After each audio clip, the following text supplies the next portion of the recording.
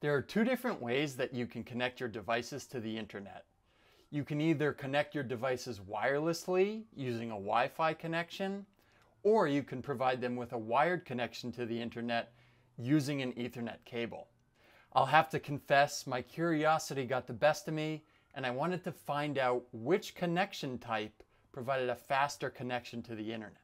In this episode from Network from Home, I'll detail my experiment and my findings with you, and I'll also talk about what this means for you in your home network. For this experiment, I grabbed a Cat6 Ethernet cable that I could use to connect my laptop to my router in order to run a wired speed test. For the wireless speed test, I used the 5G Wi-Fi network in my home that's being broadcast from my router. For the first part of this experiment, I stood right next to my router and performed two different speed tests. The first was with that 5G Wi-Fi connection.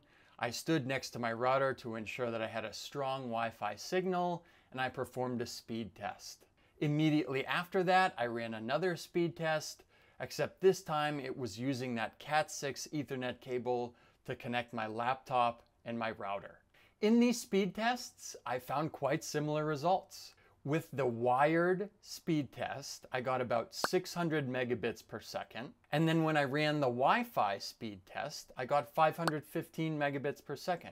So pretty similar results there. Not a big difference when it comes to determining which connection provides a faster internet speed. Before jumping to any conclusions here, what I did is I took this experiment one step further. The next thing I wanted to do is I wanted to test if these results would be similar if I was standing further away from my router and I maybe didn't have as strong as a Wi-Fi signal. So what I did is I stood about 15 feet away from my router and I ran these tests again. I ran a wired speed test and I also ran a Wi-Fi speed test right after it. To be quite honest with you, the results were quite shocking. In the wired speed test, I got 574 megabits per second of internet speed but in the wireless speed test using Wi-Fi, I only got 164 megabits per second. Although the results were quite similar for the wired speed tests, when I was standing next to my router and when I was 15 feet away from it, the same can't be said for the wireless speed tests using Wi-Fi. There was a 350 megabit per second drop off between when I was standing next to my router and then when I was 15 feet away from it. So this begs the question, what exactly is going on here? Why don't I have similar results like I had with my wired internet connection? What's happening here is in a Wi-Fi internet connection, your router is wirelessly sending information to your device and your device is wirelessly sending information back. The reason that this 15 foot difference between the two speed tests has such a big impact on your wireless internet speed is due to the fact that when this information is being sent over the air, there's a lot more opportunity for those Wi-Fi signals, those wireless signals to get obstructed, to get blocked, and overall to reduce that Wi-Fi signal. When you have a reduced Wi-Fi signal, your router and your device aren't able to communicate as effectively. This results in a drop of internet bandwidth. This is exactly what we're talking about here in the speed tests that I ran. The bottom line is Wi-Fi connections when compared to Ethernet cable connections, they present a lot more opportunities for obstruction. Wi-Fi signals don't travel very well through walls, through water and plumbing. If there's any of that between your device and your router, it's going to impact your Wi-Fi signal. On top of that, there could be other devices in the area that interfere with or affect that Wi-Fi signal as well.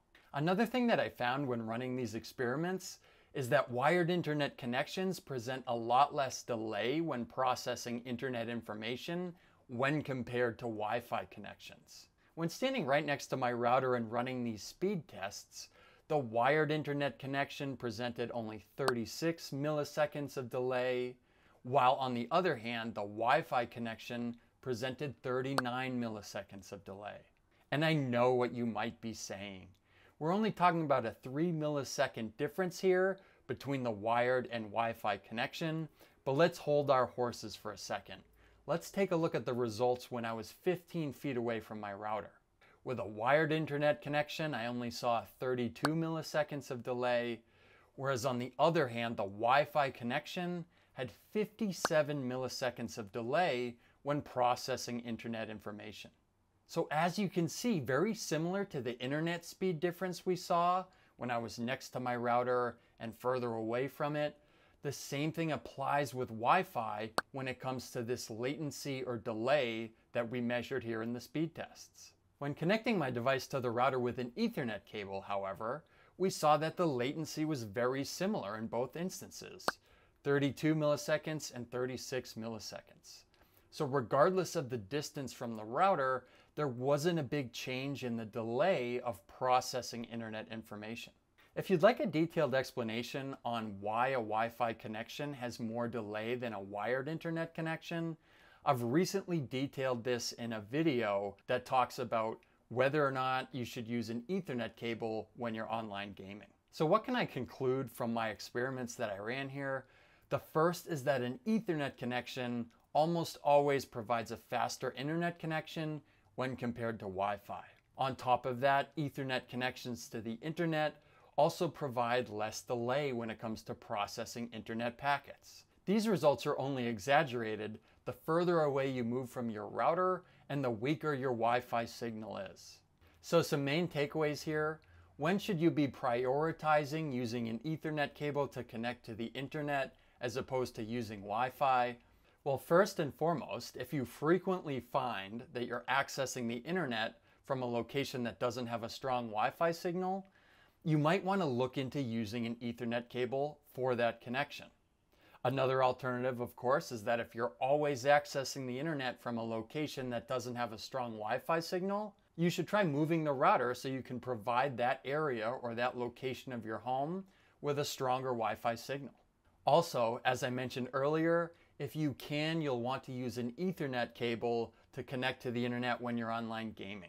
This is because an Ethernet cable will present less delay when processing data and it will result in a less laggy online gaming experience. Lastly, if you find you frequently have to download large files from the internet, either you have to download large files for work or you want to download a game or an application from the internet, an Ethernet cable will allow you to do that much faster than a Wi-Fi connection. If you have any questions about this information, please drop a comment below.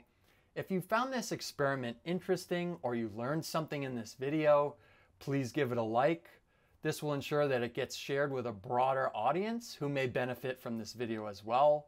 And lastly, if you like the videos that I'm presenting here, you like the content on my channel, I invite you to subscribe and come along for the ride as I continue to put out more tips and tricks for your home network. As always, thanks for checking out this episode from Network from Home, and we'll catch you on the next one.